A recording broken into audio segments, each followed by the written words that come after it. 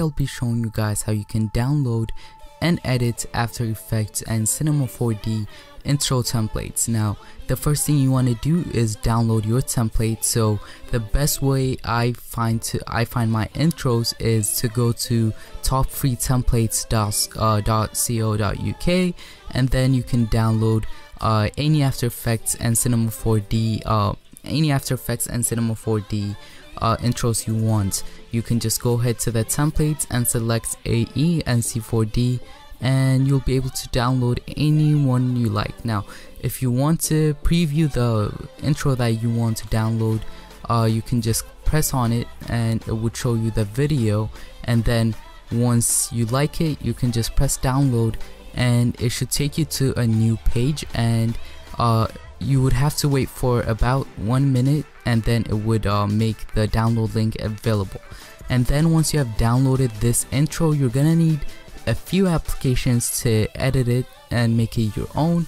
And the first application that you're gonna need is After Effects CC or CS6 now this application costs money and like all of the applications I am gonna show you in the video but there is a way to get it for free legally and that's by downloading the free trial. So just click on the free trial and it should take you to a new page. And in this new page just select your skill level. Uh, this doesn't really matter just select this and then sign up for Adobe ID uh, if you don't have one. So sign up and then it would download the application automatically. And then once you have this you want to download uh, Cinema 4D from Maxon and this application costs money too but it has a demo download. So I'm gonna leave the link for this in the description and fill this out and you'll be able to download it for free.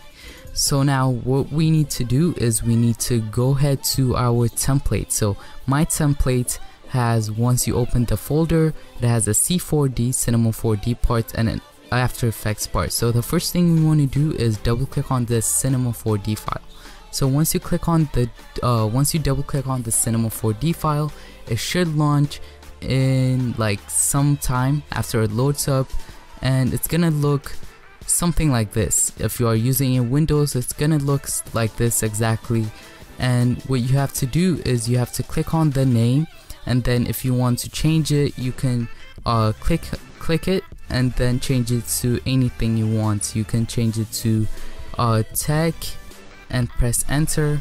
And then once you click here it should uh, it should update the text. And then most of the time there are two layers of text. So change the other one too by clicking on it and change it to the same thing you change the first one too now once you click there it should update itself. And now if we play the video as you can see uh, you can see the whole thing the whole animation kind of thing and it's really cool. And if you press on um, if you press on render then if you click on render view it should show you what the text is gonna look like. Yeah it's gonna look something like this. So just press on it. And then now we what we want to do is we want to um, click on the text and if you want to change the font click on it come right here and then you can uh, change it to anything you want. Right now it's on plump but if I want to change it I can just click on any of these and it would change itself. And if you also want to change the color double click here and you will be uh, able to change it but I don't suggest changing the color because if you change it and the particles and stuff in the background are different and the colors are different they don't mix they don't match it's gonna look a bit ugly in some intros so I don't suggest changing the color. So once you have done that what you have to do is click here again onto your render settings and make sure it's 1280 by 720 if you have a good computer and if you have a, a, like really good computer you can go ahead and put it on 1920 by 1080 that would be 1080p and then what you have to select where you're gonna save your file. Mine is gonna be on my desktop. And then format should be set on QuickTime Movie now you can do PNG sequences and that's gonna be a bit faster and the quality is gonna be a bit higher but it's gonna be in loads and loads of pictures on your Mac so I don't suggest doing that.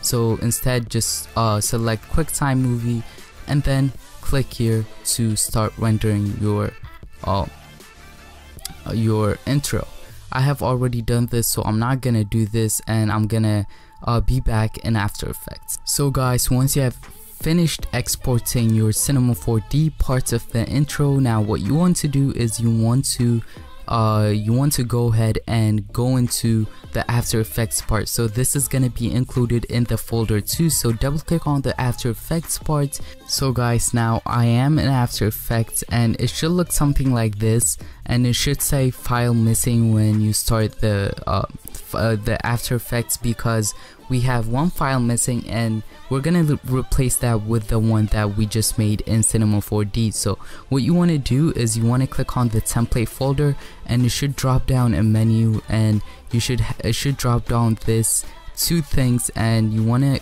uh, replace this colorful thing the PNG right click on it and then go on to replace footage and then click on file. So once you have done that go wherever you saved your intro. I saved my intro that I have exported from uh, Cinema 4D on my desktop. So I'm gonna select that file and click on open.